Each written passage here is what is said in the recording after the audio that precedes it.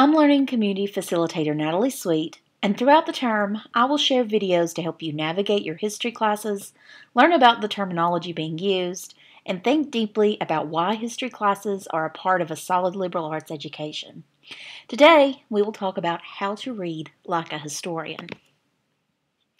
In your history class, you will likely find that you have a significant amount of material to read. At first, the material may seem overwhelming. After all, perhaps you read for pleasure and you know how long it takes you to read a book or article that you enjoy.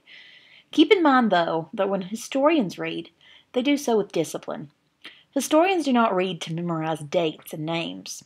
Instead, they read to understand the author's argument or thesis and to understand why an event occurred how it happened, and or what the significance of the event was in history.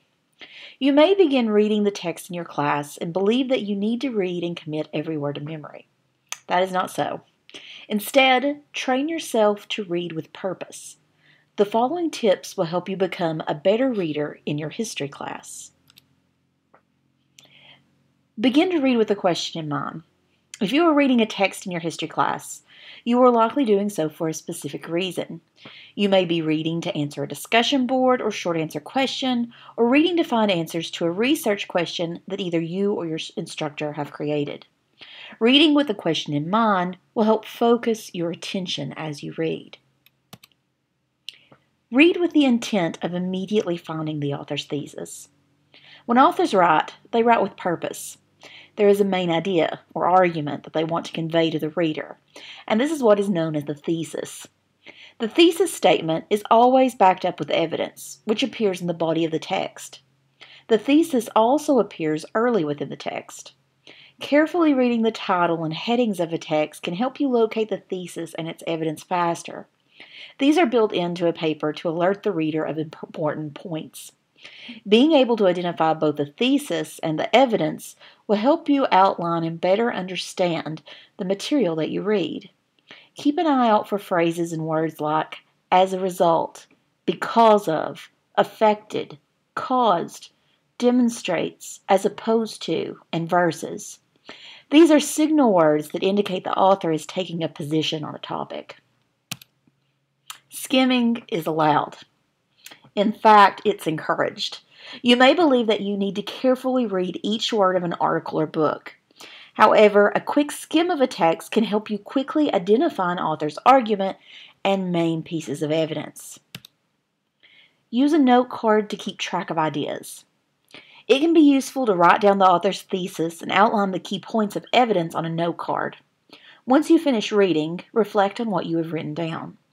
What is written on the note card isn't meant to be a tome of text. That's why the note card is suggested and not a sheet of paper. If you are writing a research or analysis paper, you may even take the time to construct a reference and citation on the back of the card to save you time when you begin to write. Taking the time to think about what the author has told you then prepares you to reread a second time. I know you may be thinking, but she told me that reading like a historian would save me time. And I continue to promise it will. The skimming that you did on your first read through has equipped you with the main idea and the points of evidence that the author will cover. Now, do another quick read through with the goal of reviewing the author's main points of evidence. If a point is confusing to you, you can spend more time focusing on that section. Repeating these tips with every article that you read will help you comprehend the material in your classes faster. It's a skill that will not only benefit you in your history class, but it will also benefit you in your future classes and career.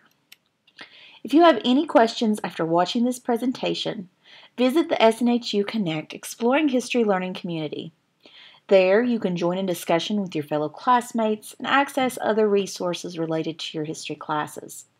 Until then, I'm Learning Community Facilitator Natalie Sweet, and thank you for listening.